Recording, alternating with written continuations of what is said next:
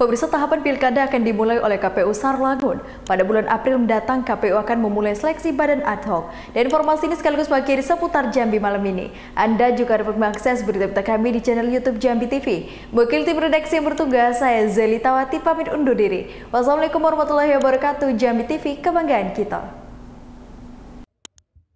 KPU Sarlangun sudah mulai membuka tahapan Pilkada serentak 2024 di Kabupaten Sarlangun.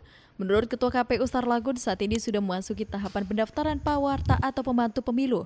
Dan selanjutnya pada bulan April mendatang, KPU akan mulai merekrut badan ad hoc, baik PPK maupun PPS, yang dijadwalkan pada tanggal 17 April mendatang.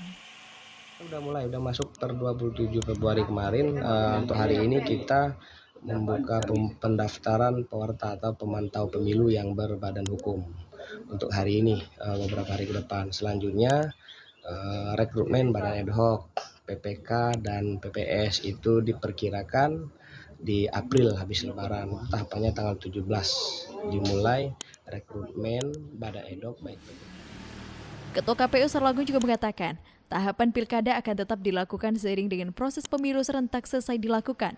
Untuk proses pendaftaran calon bupati dan wakil bupati diperkirakan pada akhir Agustus atau awal September mendatang. Surya Badi, Jambi TV.